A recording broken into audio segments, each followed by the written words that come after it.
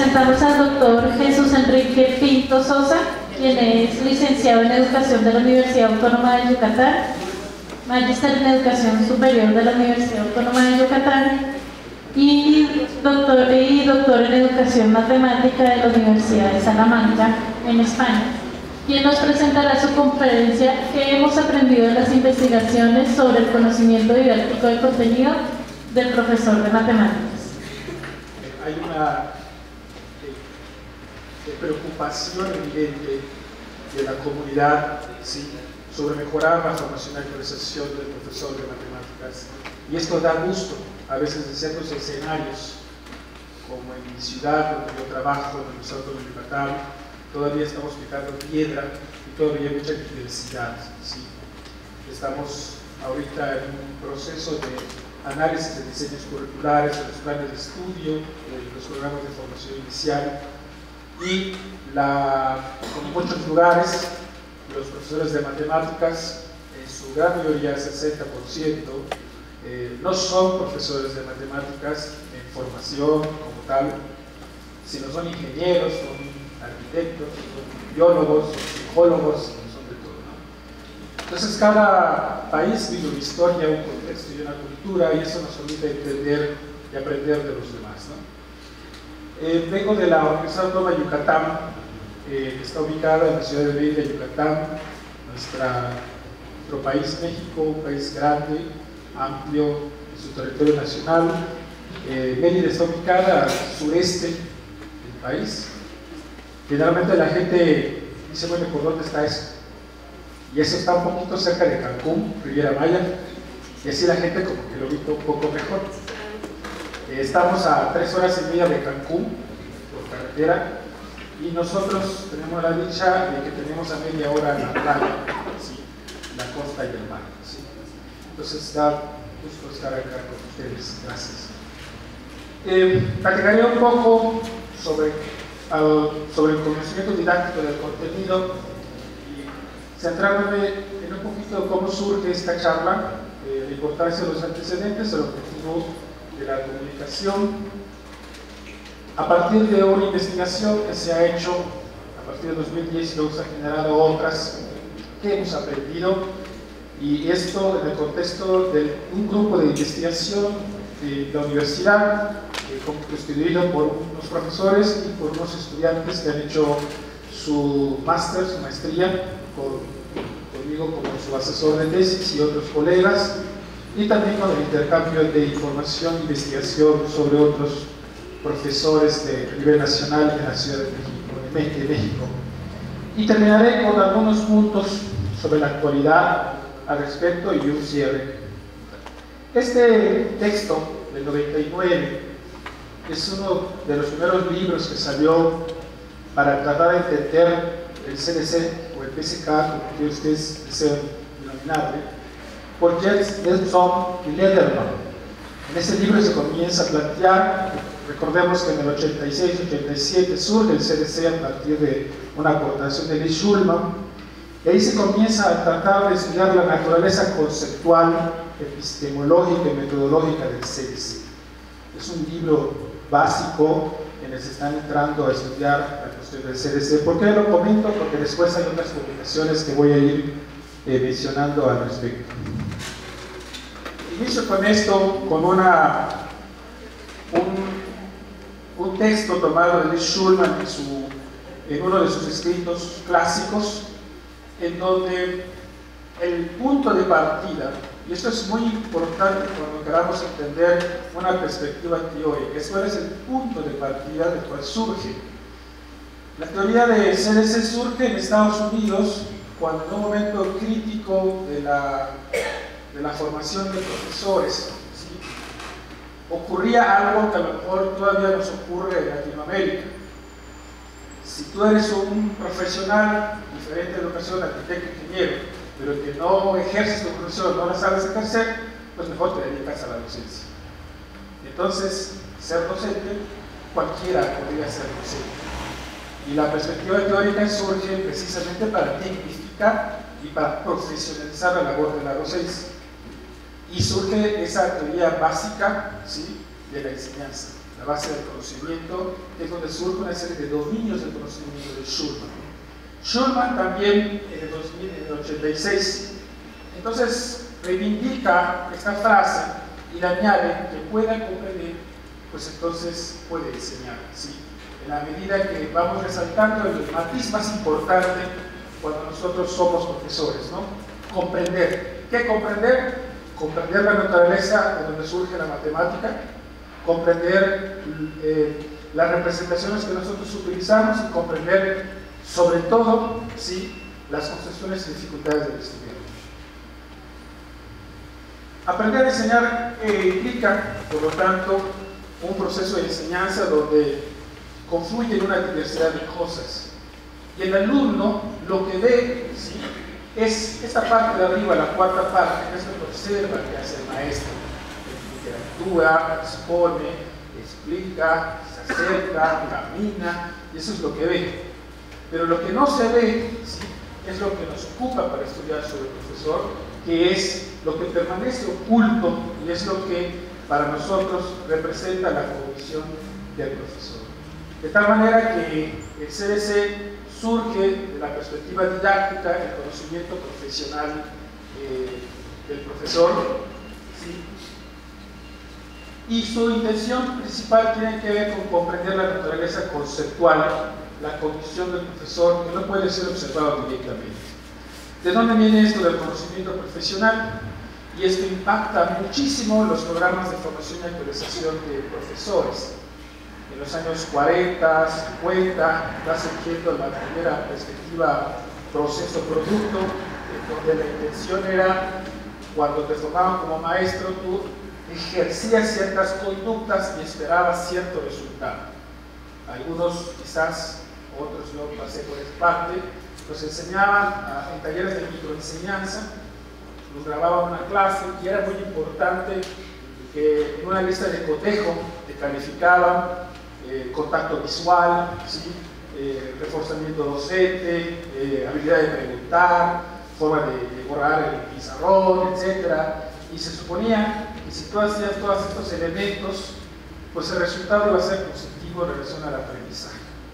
Las cosas fueron cambiando, Schulman y otros colaboradores fueron haciendo críticas importantes de ahí surge el pensamiento del profesor, en donde ya se reconoce que el profesor es una máquina, es una persona que piensa.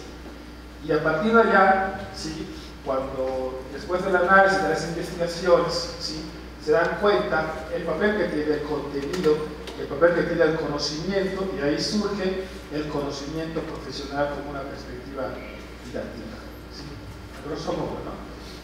Algunos autores eh, hacen referente a la importancia del, del CDC, que todavía está en desarrollo, todavía en el 2008 en el IGME, IGME, IGME, que fue en Monterrey, estaba sobre la mesa, en las mesas de trabajo, el análisis del, constructo, qué es, qué significa, qué es importante, por qué, cómo estudiarlo, qué paradigma, y eh, se está trabajando sobre eso, Burgess es uno de los autores que está sobre ello, ¿sí? y Burgess.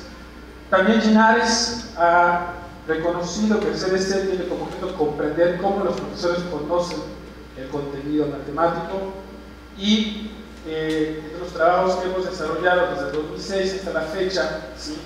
es, que tienen que ver con acercarnos a estudiar el CDC desde una perspectiva más cualitativa. La definición como punto de partida del CDC es la que encontramos en Schulman en su página 9. Son las formas más útiles de representación de estas ideas las analogías, ilustraciones, ejemplos, explicaciones, demostraciones, las cosas que hacemos como maestros de matemáticas, que pueden ser estas y pueden ser otras. En una palabra, esas formas y formulación de la materia que hacen de esta comprensible, que hacen de esta materia fácil o difícil a los estudiantes y que particularmente deben lograr que los aprendizajes sean eh, eh, mejores para los estudiantes. Aquí en ese sentido, confluyen varios elementos que en un momento más voy a compartir. Y rescato esta idea, eh, durante esta preparación de la conferencia, buscando información, todo, encontré un libro reciente, editado, eh, que más adelante comentaré, de una publicación de Lee Schulman del 2015, en un primer capítulo, donde habla de los orígenes del éxodo del, CDC. Y en eso se le hace a él una entrevista y esa entrevista la traduce en un capítulo. Me gustó mucho y la traduje, creo que se comprende, dice, me siento como el padre biológico de un bebé que se crió en su infancia, y luego dado, dado la adopción cuando tenía 5 años de edad. Durante los años que siguieron, el joven fue criado por muchos padres y jugado con muchos compañeros. Ahora que ha sobrevivido y alcanzado la adultez emergente, la mayoría de ustedes saben mucho más acerca del CDC, porque usted ha estado viviendo con él el desarrollo, la elaboración, la revisión y la aplicación de este conjunto de ideas en la investigación seria del trabajo pedagógico. Así se refiere él, porque le hace la pregunta, bueno, usted es el padre biológico del CDC, y contesta de esta manera. Él rescata en esa entrevista algo sumamente importante, que en el momento que surge tiene un impacto que ya conocemos hasta, hasta ahora. Cuando comienzan a estudiar al profesor, comienzan a darse cuenta eh, que en el sistema de formación de profesores eh, tenía mucho peso la parte pedagógica, que, que tú sepas didáctica, que tú seas pedagogo, que tú seas educador, y se evalúa por igual a todos. Y él comienza a observar profesores de su grupo, de biología, de ciencias, de historia, de inglés, de matemáticas, y comienza a darse cuenta que hay, hay elementos del contenido que hacen distinto la enseñanza. Y comienza a darse cuenta que un mismo contenido es distinto del tratamiento que le da un médico a un biólogo, a un químico, etc. Y entonces él dice, aquí está el paradigma perdido, es el contenido, por eso le llama el paradigma perdido, y es donde él hace la conjugación, la conjugación entre pedagogía y contenido, y es donde surge el conocimiento didáctico del contenido. Entonces, es un poquito rescatando cuál es el origen de esto. El propósito de la conferencia es compartir los avances y aprendizajes que hemos tenido un grupo de colegas y estudiantes de maestría sobre la investigación de CDC profesores de matemáticas. Eh, los antecedentes de, trabajos que, hemos hecho están aquí, eh, partiendo de un trabajo que hice en el 2010 eh, de la tesis doctoral sobre CDC gráficas estadísticas, luego con Gómez sobre investigación educativa, Chang hizo una revisión sobre estrategias de formación de CDC en enseñanza de las ciencias, dos trabajos que han realizado con estudiante profesor sobre el CDC del concepto de la media y del concepto de variabilidad, el profesor Tito Guzmán, de aquí de Colombia, de la UTP,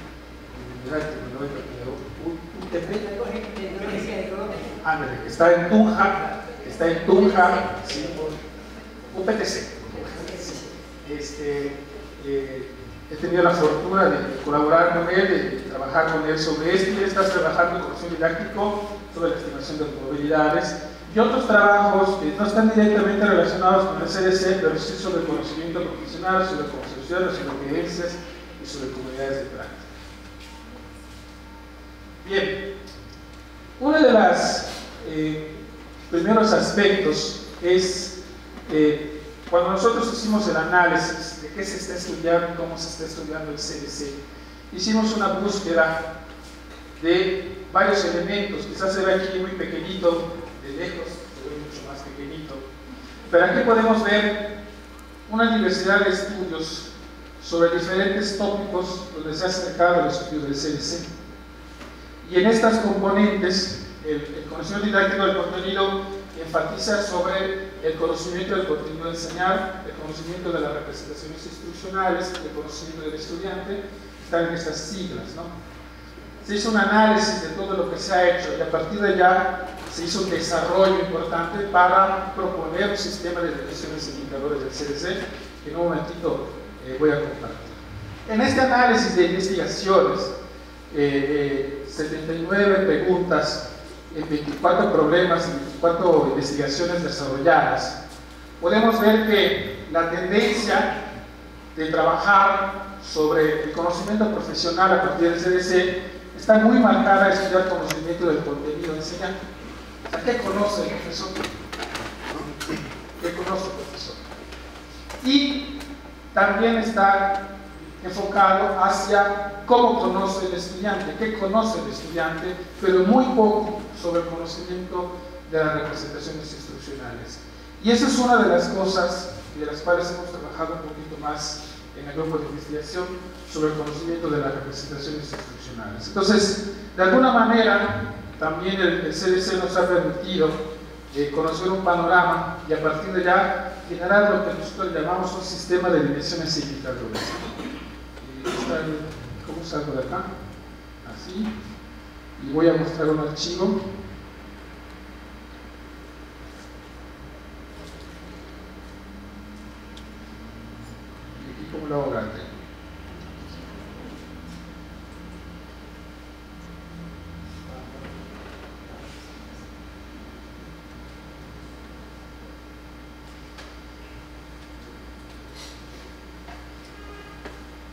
Una de las cosas que nosotros hicimos fue generar preguntas claves de los componentes del CDC.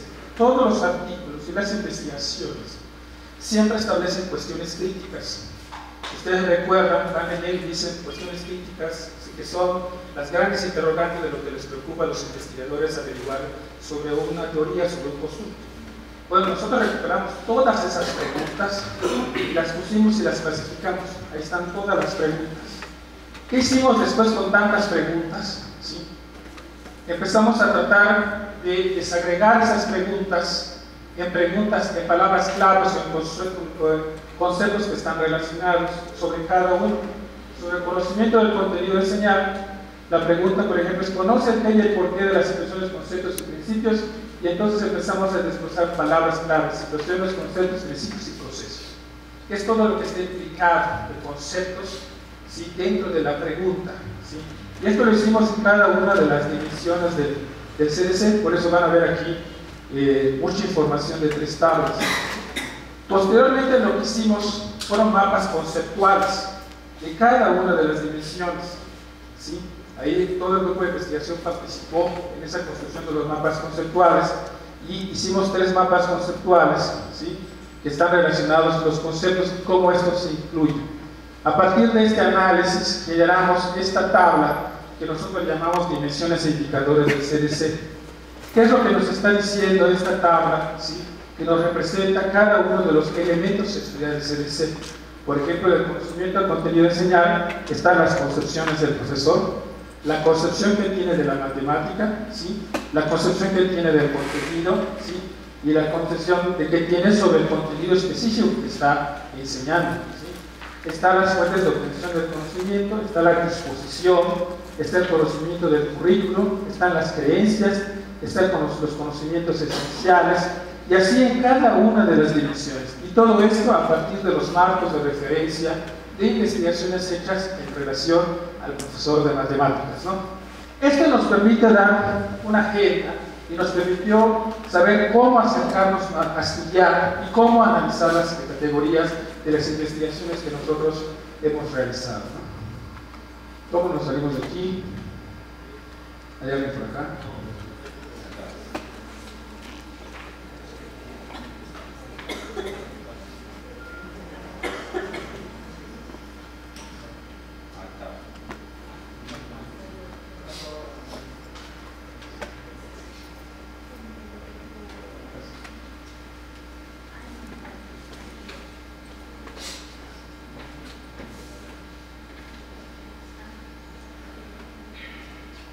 Bien, después de estas, después de estas, de estas categorías y dimensiones, nos dimos a la tarea de empezar a explorar, a explorar cómo acercarnos a preguntar al profesor sobre qué es lo que conoce y qué hace con lo que conoce. Y entonces generamos también aquí unas preguntas que son este, preguntas orientadoras.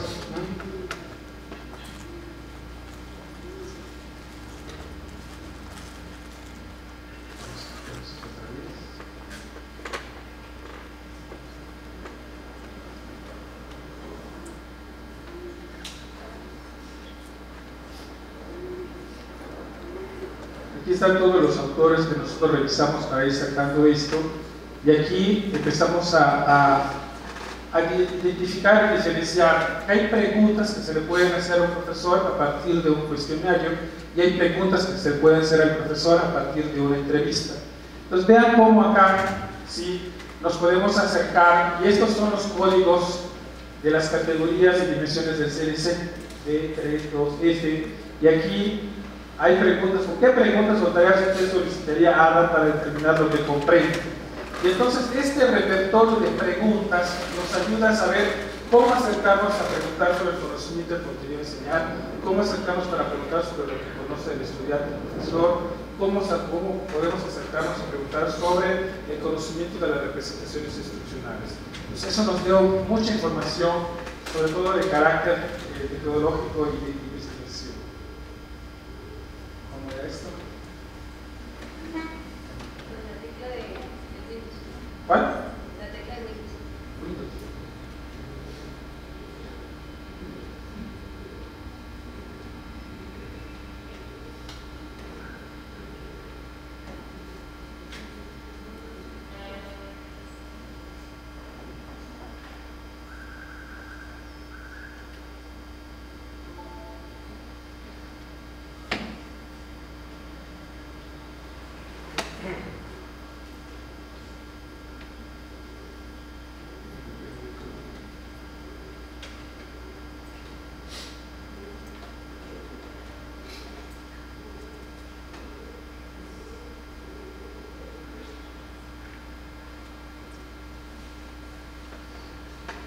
Una de las cosas que también eh, hemos aprendido nosotros es sobre cómo acercarnos a estudiar el CDC. Y nosotros hemos hecho más trabajo de investigación de carácter cualitativo a partir de una serie de instrumentos y de técnicas. En primer lugar, un elemento que hemos incorporado es el análisis de los programas de curso. ¿sí? Desde el aspecto curricular, cómo se elabora, qué elementos tiene el programa, bajo qué concepción teórica, para qué concepción metodológica, qué información, qué textos, qué se pretende, cuáles son los logros esperados.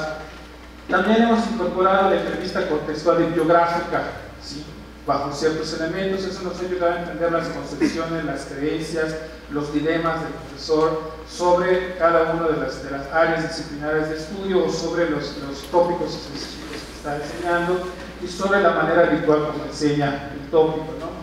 Eh, a través de las investigaciones hemos incorporado cuestionarios didácticos sobre representación gráfica, que son los primeros, pero que son basados en cuestionarios de situaciones hipotéticas de enseñanza, que vamos a ver más adelante, la entrevista en profundidad. Esto es lo que nos ha permitido este, trabajar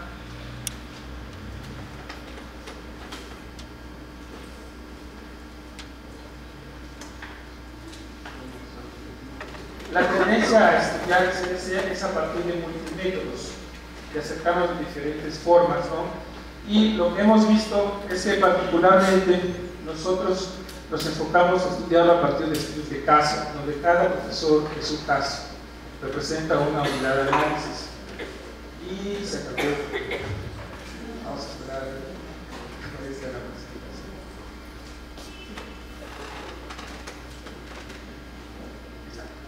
Gracias.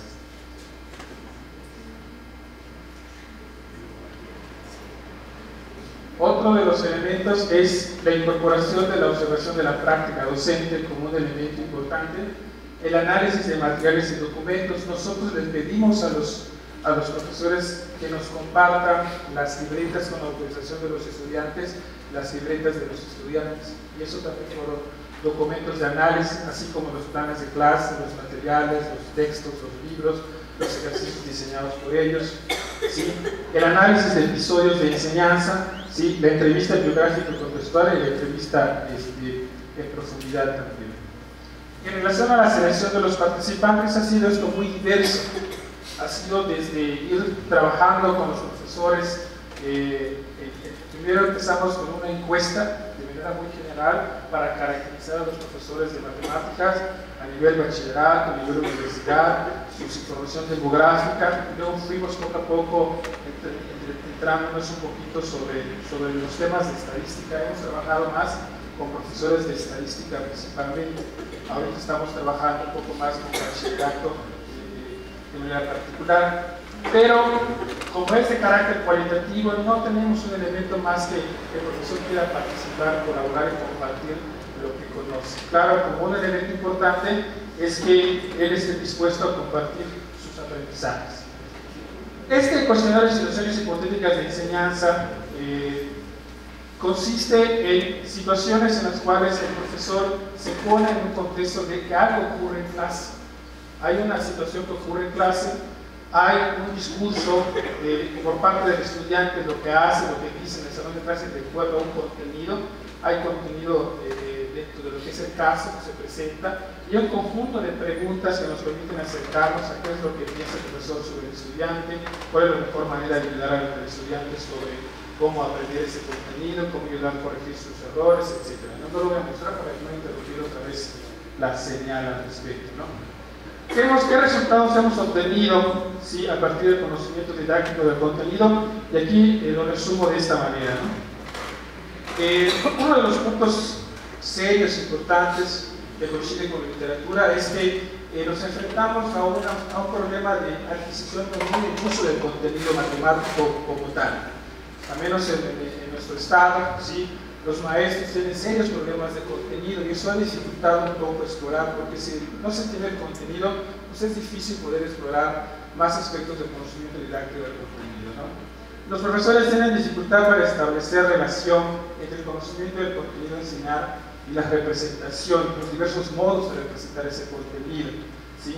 ¿Cómo yo puedo mostrar un concepto ¿sí? de manera distinta dependiendo de las necesidades del estudiante, en cuestión de sus concepciones, sus dificultades, etc. También eh, a partir de ese pobre conocimiento, pues podemos también explorar que los niveles de desarrollo del CDC son distintos en la medida que se conozca y en la medida que, que el profesor esté involucrado mucho con el conocimiento del contenido de enseñar, pues podemos tener mayores elementos de representación instruccional de lo que utiliza el profesor. Se evidencia la necesidad de planear, diseñar eh, y evaluar programas de formación de profesores con enfoques diferentes, al menos en nuestro contexto. Esto está siendo realidad poco a poco, porque se tenía la cultura y la tradición de cursos de actualización y, en la cual se reproducían por los profesores año con año. Eso ha ido cambiando y estamos incorporando las comunidades de práctica como un mecanismo de de actualización, sigue incorporando los modelos y los programas de formación y actualización. Como fuentes de formación de cómo se forman y actualizan los profesores y, que afectan de alguna manera el CDC, tiene que ver los libros de texto.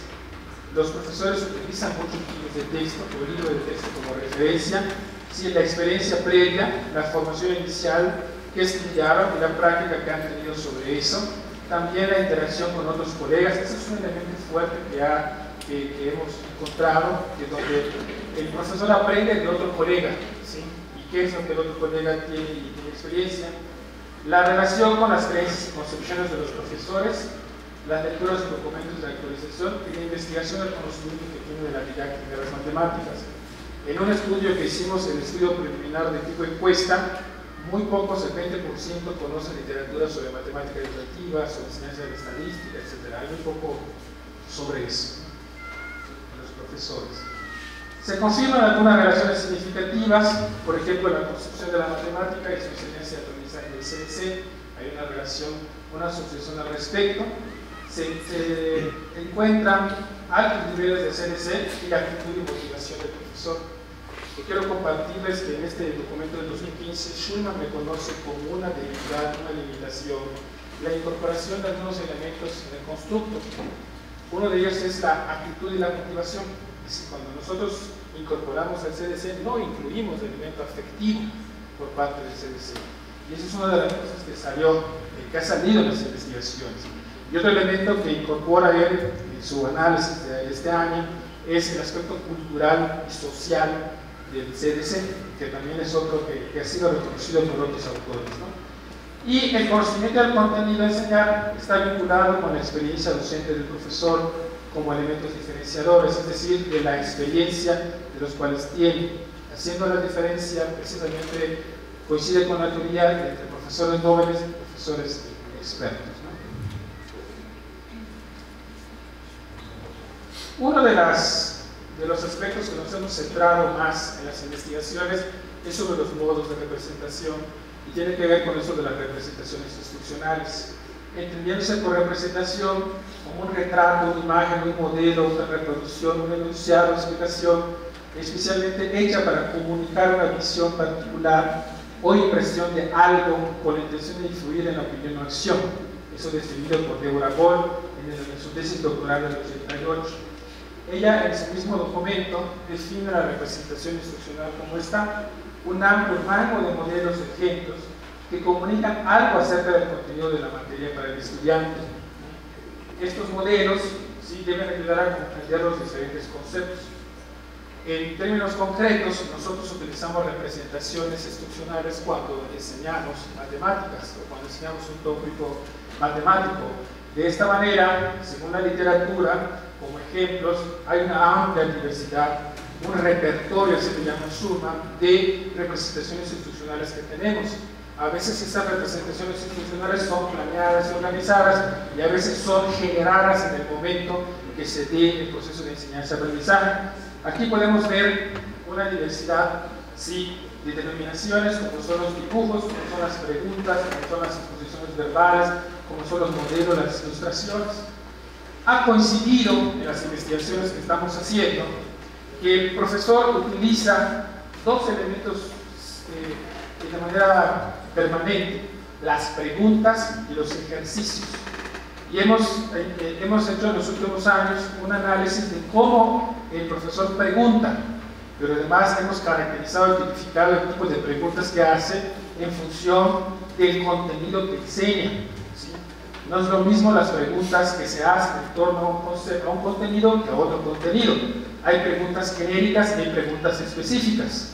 Entonces hemos hecho ya una identificación y caracterización sobre esas representaciones que se utilizan en los diferentes contenidos. Deborah Gold hace una aportación para nosotros importante sobre los tipos de representaciones y ese es el punto de partida de las investigaciones y ella propone una clasificación así las representaciones según las clasificas según estas categorías. De manera rápida vamos a, bosquejar un poquito a qué se refiere cada una, en función del contenido, si es explícito, si es implícito, y esto si lo relacionamos en la, en la investigación sobre CDC tiene mucha importancia porque nos ayuda a conocer sobre esto que Schubert llama conocimiento de la gestión de la enseñanza y el manejo del contenido de enseñanza. Vean cómo según la forma que es la manera como operacionalmente podemos, el alumno puede apreciar y ver lo que está ocurriendo, el profesor puede utilizar preguntas, puede usar respuestas, puede usar explicaciones, y cada uno nos da una connotación diferente de lo que aporta sobre el contenido. Sobre el modo, puede ser concreta, gráfica, simbólica, verbal, cada uno de estos nos da información valiosa. Según el medio, metáforas, expresiones, objetos tangibles, y según la relación, si es bidireccional, disciplinar, conceptual, matemática, contextual. Esto nos dice mucho del contenido que tiene el profesor y cómo este contenido lo usa y lo utiliza cuando está en el salón de clase para poder mostrar un contenido o para poder ayudar a que los alumnos eh, entiendan o no su contenido. Un ejemplo de estas cosas fue el trabajo que hice en el 2010, en donde en dos estudios de caso, caso de Alicia, eh, ella, eh, a partir del análisis de la información, demostró cuatro representaciones institucionales, que son las definiciones, usaba muchas definiciones y explicaciones, usaba preguntas, ejercicios e instrucciones en la enseñanza de las gráficas estadísticas, que fue el, el tópico que nosotros trabajamos. Y aquí nosotros hicimos una clasificación diferente de la manera como estas representaciones se utilizan según el tipo son verbal, si es concreta, según la forma, si están centradas en el profesor o centradas en el alumno. Vean cómo también nos dice mucho según la forma. ¿sí? Estas definiciones, explicaciones, ejercicios y instrucciones, solo para dar un ejemplo, están centradas en lo que el profesor hace. No están centradas en lo que el alumno hace, más solo las preguntas y solo determinadas preguntas. ¿no? Entonces también nos ayuda a entender qué es lo que está pasando en el proceso de enseñanza-aprendizaje. Y también las clasificamos las representaciones según el propósito que utiliza cada una y según los contextos y los momentos en que la utiliza. Eso nos permite dar como una radiografía, un mapeo sobre qué es lo que está haciendo, lo que conoce el profesor y cómo usa estas representaciones. ¿Qué hemos aprendido de estas representaciones? Aquí comparto algunas de esas conclusiones. Cada profesor utiliza una o más representaciones con una interpretación y un uso particular. Dos, los profesores utilizan mayormente representaciones que aprendieron durante su proceso formativo, es decir, quienes le dieron clase. En las entrevistas a profundidad, en las entrevistas biográficas, era constante de él, es porque así lo aprendí. Es porque mi maestro que me dio clase así lo aprendí. Y lo más delicado es que eh, no, eh, así lo aprendí en la carrera de matemáticas, así lo aprendí en la carrera de, ingeniería, así lo aprendí, es el maestro que. Entonces, ¿qué recurso él utiliza además? Es la fuente donde obtiene a veces, porque la representación puede ser tomada o creada. Tomada puede ser un texto, de un libro, de un material, y esas representaciones tomadas son de las fuentes que él estudió o que él conoció cuando fue estudiante. O sea, tampoco conoce otros materiales que le permiten dar una diversidad de otras representaciones al respecto. ¿no? Las representaciones nos ayudan a comprender las concepciones que tiene el profesor del contenido y la manera de hacer fácil o difícil la comprensión del mismo. También los modos de utilizar la representación nos ayudan a comprender cuestiones de contenido, de gestión de la enseñanza, del contenido del aula y cuestiones del aprendizaje de los estudiantes. Entre algunas coincidencias de los aspectos que hemos notado en los estudios del CDC, particularmente cuatro de ellos, es cómo la formación inicial, ¿sí? nosotros hemos estudiado licenciados en enseñanza de las matemáticas, licenciados eh, en, son ingenieros, físicos, eh, biólogos, psicólogos, y cómo el papel de la formación inicial tiene un papel fundamental en el conocimiento didáctico del contenido. También cómo llegan a ser profesor, su historia de vida para llegar a ser profesor es muy importante. Hay profesores, por ejemplo, un psicólogo que llegó y que, manifestó una, unos, unas representaciones gráficas este, instruccionales distintas a otros, ¿sí? porque él proviene de una familia de profesores de matemáticas pero él no es matemático, él es psicólogo. Y su experiencia es que antes eh, lo, metieron, lo metieron a estudiar eh, mecatrónica. Y entonces él estuvo allí eh, trabajando un año de la carrera y luego se salió y entró a la, a la, facultad de psicología. Allá en la facultad de psicología, empezando, lo llamaron para ser ayudante de investigación para análisis de datos estadísticos. Y allí empezó a incorporarse e incursionar en la estadística y entonces él, en sus entrevistas, él en, su, la observación de la práctica, ya aduce, ¿sí? inclusive hasta en, el repertorio de estrategias, hasta estrategias tomadas de algunos autores, ¿sí? Este, como la estadística por proyectos, maneja él ese tipo de trabajos por respecto. Entonces, ¿cómo uno llega a ser profesor? Sí es un elemento que para nosotros nos ha llamado la atención de cómo nos llega a, enfrentarse al grupo. A diferencia de otro caso, el caso de Alicia que vimos, que es una profesora que es matemática, con una maestría de matemática abstracta, ¿sí? y que no quería ser profesora. De manera coyuntural, ¿sí? Eh, se abrió un campus en Isemim a dos horas y media de Mérida, la llamaron a ella por recomendación y le ofrecieron una plaza en ese entonces, cuando se abrió el campus, fue así de esa manera, hubo concursos de oposición, esas cosas, y dijeron, pues toma la estadística, aquí le va la estadística a los que van a ser futuros docentes. Entonces se enfrentó a un desafío, totalmente distinto. Entonces la historia, sí, para nosotros ha sido importante de entender. El contexto de la carrera donde se dice es muy importante. Eh, no es lo mismo enseñar eh, estadística en educación, en psicología, en biología, en química. Entonces estamos tratando de, entender matices.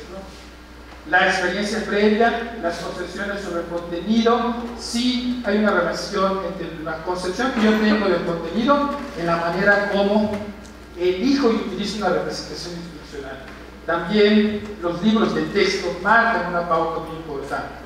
Eh, estamos trabajando también en el grupo, elaborando materiales ahorita a través de un proyecto que se llama Diseño de Materiales, Recursos y Herramientas para el Aprendizaje de la Estadística, precisamente porque eh, los profesores han señalado que enseñan esto porque utilizan esos libros, pero esos libros nos dan una visión bastante obsoleta de lo que es la estadística, de lo que es la representación gráfica, de lo que es la media.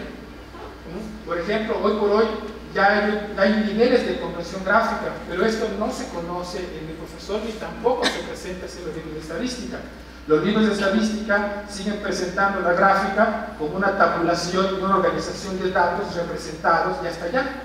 Hicimos un análisis a partir de una tesis de Rhys sobre libros de texto, cómo se trata la, representación gráfica estadística, y el 85% de, de las preguntas, de los ejercicios, tiene que ver con construir el gráfico. ¿Y cómo se interpreta? ¿Y qué relaciones hay entre eso? Y el contexto. Y además, es, eh, escribir el gráfico de, de tasas de datos que no tiene nada que ver con los intereses del estudiante al estudiante se le dan los datos y él tiene que calcular. Entonces, estamos eh, también trabajando con eso. La actitud también eh, hemos encontrado que es un factor importante. Encontramos profesores en ese sentido de que son profesores porque me toca ser profesor. Me toca, me dicen que yo de estadística y me tengo que dar estadística y lo trato de hacer de la mejor manera. Pero también vemos que hay diferencia cuando el profesor dice, Jesús, dime, ¿qué tengo que hacer? dime qué tengo que estudiar, recomiéndame qué literatura tengo que hacer, sí, obsérvame, ¿sí? Y en ese proceso de, entrevista en profundidad, ves que el profesor hace ese clic y dice, oye, eso yo no lo había yo pensado. Eh, nunca me había yo, eh, pensado que esto es así, ¿no? Entonces, son cosas que hemos aprendido a partir de, las experiencias que hemos tenido sobre el CDC. Quienes estén interesados en trabajando sobre el CDC, hay dos libros del 2012 por John Logan, Amanda Berry, Pamela Bullham, 2012.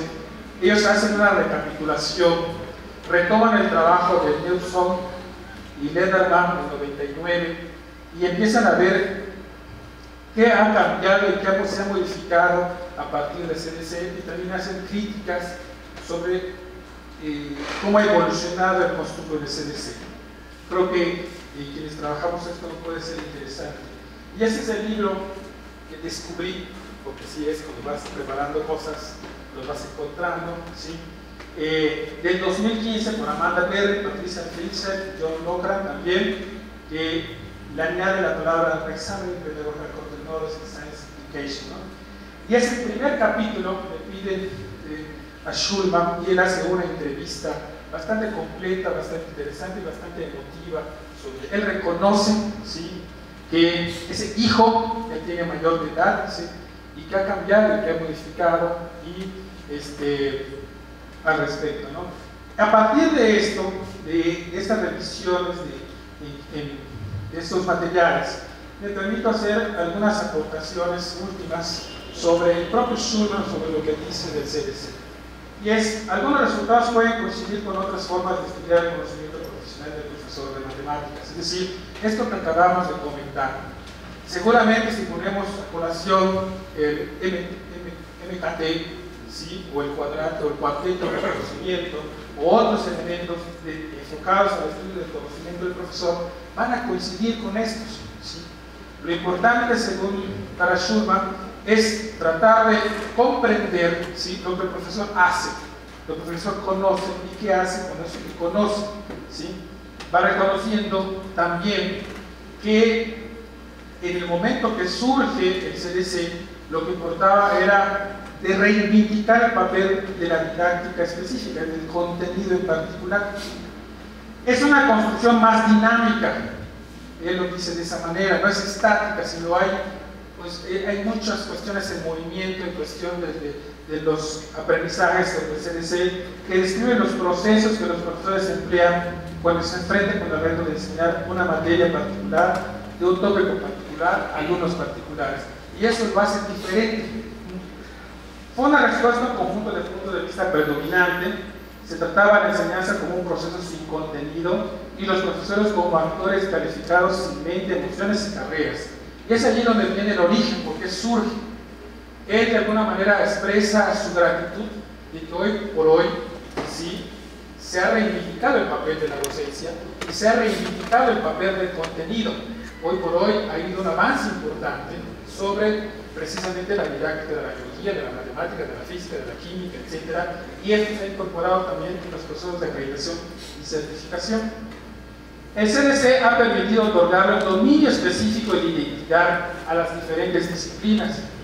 Y él se emociona ya en su discurso, va diciendo, es muy agradable y satisfactorio ver cómo a partir del CDC se va creando una identidad particular del profesor que lo da esa combinación entre la didáctica general o pedagógico, entre el contenido que el profesor el de biología que sabe de biología y lo que hace, y el CDC. Y eso le da una identidad muy particular y distinto al respecto. Los estudios han permitido identificar la necesidad de profesionalizar y actualizar a los docentes. Eso dice que le ha dado gusto, pero también reconoce él que no obstante es algo que todavía hace falta trabajar más en las instituciones formadoras de profesores. Y él también habla, porque cita a Boll y muestra ya ese discurso las críticas que Boll le hace. Boll le llama por teléfono y le dice, oye, está pasando esto, no me gusta que tú menciones que es lo que algo que está en la mente, de la, en la cabeza del profesor y hace unas críticas. Entonces él dice que le parece muy bien esas críticas y que mientras y que la gente y agradece que la gente vaya haciendo todas esas nuevas incorporaciones, pero va explicando un poco que aquí lo que importa es que el profesor se actualice y ponga sí, el elemento del contenido de su proceso de enseñanza. Convertirse en un maestro de la ciencia madura, usted no solo aprende a pensar y la práctica de ciertas maneras, también implica el desarrollo de una identidad, eso es lo que les acabo de comentar, eh, construida y relacionada con el CDC. A manera de cierre, ya voy terminando para finalizar esta, charla, eh, algunas implicaciones, más que algunas recomendaciones. Investigar más sobre la conexión del profesor para comprender su pensamiento y conocimiento que tiene del contenido y cómo lo utiliza con sus estudiantes, cómo lo transforma el contenido. Utilizar paradigmas, formas, métodos o diseños diferentes para explorar la cognición. Si no es el CDC, sea otro, no pasa nada. Lo importante es entrar a la condición del profesor, porque de esa manera vamos a poder entender y relacionar qué tenemos por formar, qué tenemos por actualizar, qué tenemos, qué debemos formar y qué debemos actualizar al respecto. La observación de la práctica de escenarios reales es una técnica indispensable para explorar el CDC en las aulas, en los escenarios reales. Eh, lograr la conexión entre la investigación didáctica y los programas de formación inicial y de actualización, y partiendo del marco de la práctica docente de las teorías sobre conocimiento y desarrollo profesional, es importante incentivar, incrementar los estudios sobre estudiantes para profesor y los profesores del ejercicio. Que es cada tópico, noción o concepto en una disciplina requiere de la comprensión de dificultades de aprendizaje, haciendo referencia a la comprensión de las dificultades que tienen nuestros estudiantes, a las concepciones equivocadas sobre el tópico y al conocimiento de las representaciones específicas y estrategias para crear oportunidades de aprendizaje.